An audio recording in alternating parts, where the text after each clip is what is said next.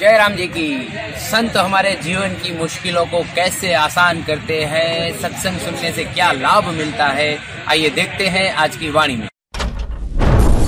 जयराम जी की दिनांक एक जून, स्वामी लीला शाह वाणी में आपका स्वागत है। आज का विषय है अमृत बेला। स्वामी लीला शाह महाराज जी ने कहा है कि नियम में बड़ी शक्ति है। अमृत बेला को संत महात्मा ब्रह्म मुहूर्त भी कहते हैं। बड़े भाग्यवानों को यह समय भाग्य में आता है। तुम सत्संगियों के अहो भाग्य हैं। जो नित्य नियमों से, कई वर्षों से अमृत समय का सत्संग करते आए हो। परंतु तुम जो सत्संग में प्रतिदिन इतनी देर सारी कथाएँ सुन रहे हो, वह किस लिए? रामायण, गीता वेद शास्त्र सुनने के लिए नहीं रचे गए हैं। केवल सुनते सुनाते रहेंगे, किंतु आचरण न करेंगे तो फिर क्या लाभ हुआ? जयराम जी की भलाई करोगे तो तुम्हारा भला होगा। भलाई का फल प्रभु तुम्हें देगा। भलाई करने के लिए अपने में प्रेम उत्पन्न किया जाए, और प्रेम सहानुभूति करने से होता है, और बढ़ता है। जयराम जी की तारीख़ एक जून, स्वामी लीलाशाह वाणीअ में। तव्हांजो स्वागत आहे। अॼु जो विषय है अमृत वेलो।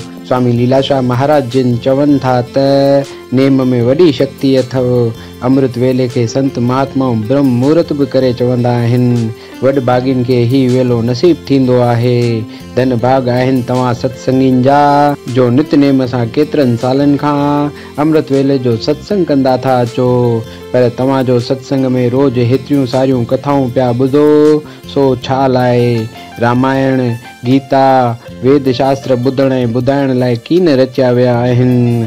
रुगो पियो ॿुधबो ऐं ॿुधाइबो मगर अमल न कबो, त पोइ छा फ़ाइदो थींदो? जयराम जी की भलाई कंदा, त तव्हांजो भलो थींदो भलाई जो फल प्रभु ॾींदो। भलाई कंदा, त तव्हांजो भलो थींदो, भलाईअ जो फल प्रभु ॾींदो। भलाई करण लाइ पाण में प्रेम पैदा करियो। जयराम जी की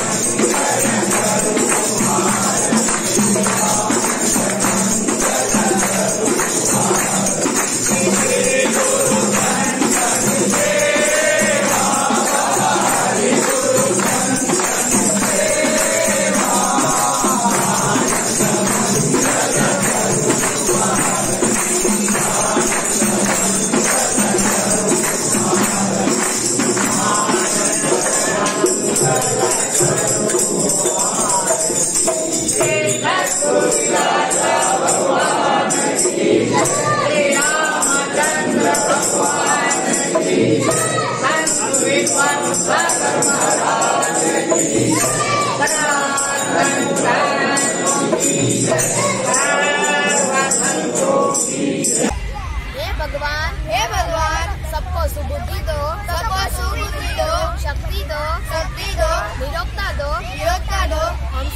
अपना कर्तव्य पालन करें। हम सब अपना अपना कर्तव्य पालन करें और सुखी रहें। और सुखी रहें। हे भगवान हे भगवान, सबको सुबुद्धि दो, सबको सुबुद्धि दो, शक्ति दो शक्ति दो निरोगता दो निरोगता दो हम सब अपना अपना कर्तव्य पालन करें हम सब अपना अपना कर्तव्य पालन करें और सुखी रहें और सुखी रहें हे भगवान हे भगवान सबको सुबुद्धि दो सबको सुबुद्धि दो शक्ति दो शक्ति दो निरोगता दो निरोगता दो हम सब अपना अपना कर्तव्य पालन करें हम सब अपना अपना कर्तव्य पालन करें और सुखी रहें। और संत शिरोमणि स्वामी लीलाशाह महाराज की।